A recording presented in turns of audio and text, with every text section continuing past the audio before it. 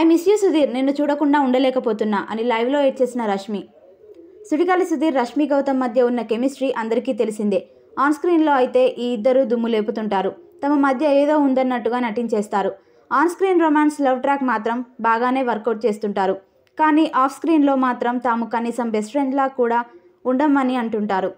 సెట్లో షూటింగ్ లేకపోతే ఎవరి దారి వారిదే అన్నట్టుగా ఉంటారట. కానీ తెర మీదకు వచ్చేసరికి మ్యాజిక్ చేస్తుంటారు. కానీ ఈ మధ్య సుధీర్ మల్లెమాలకు ఈటీవీకి దూరంగా వెళ్ళిపోయాడు. Extra Jabardasth Dhee show Sridevi drama company ఇలా అన్నింటినీ వదిలేశాడు.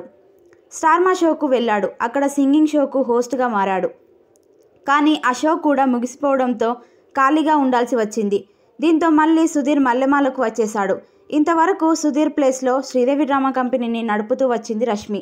అయితే తాజాగా సుడిగాలి సుధీర్ని చాలా మిస్ అవుతున్నా. సుధీర్ అంటే నాకు చాలా ఇష్టం అంటూ సుధీర్ని చూడాలి అని ఉంది.